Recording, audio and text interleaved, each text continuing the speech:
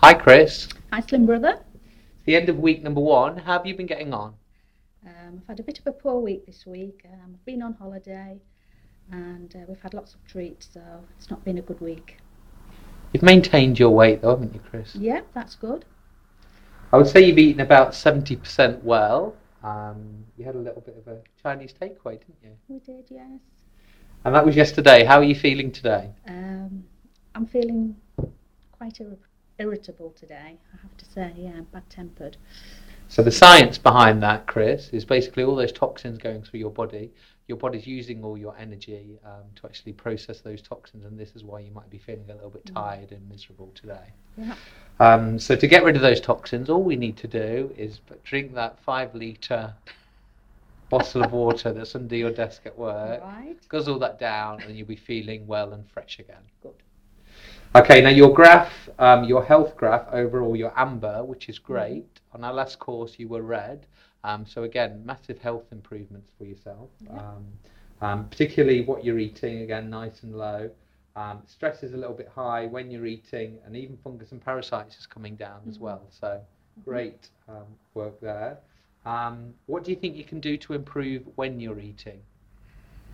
Ooh, just to be a bit more organised with my food shopping and and try and eat more sensibly at the right times, really. And what's been your highlight of this week? Um, highlight of the week has been exercising with my daughter Sarah at the pump classes. It's been great to have a partner there and to share the aches and pains the next day. Tell us exactly how Sarah was feeling the day after her first pump class. She said her elbows ached and the legs. Is that how you were feeling, Chris? Just my not my elbows, but definitely my legs. Slim Brother apologises for this.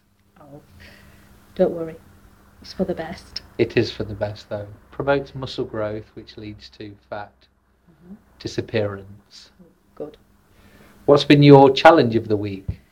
Uh, challenge of the week has been away to a lovely hotel, which has also been a highlight. But obviously, there's been lots of lovely food and drink.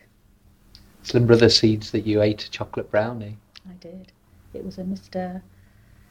Raymond Blanc's, so it was very nice. Was it hot? No, it wasn't. Did it have any toppings on? Lots of chocolate chickens and pecans. How many calories do you think it had? I don't know, I didn't look.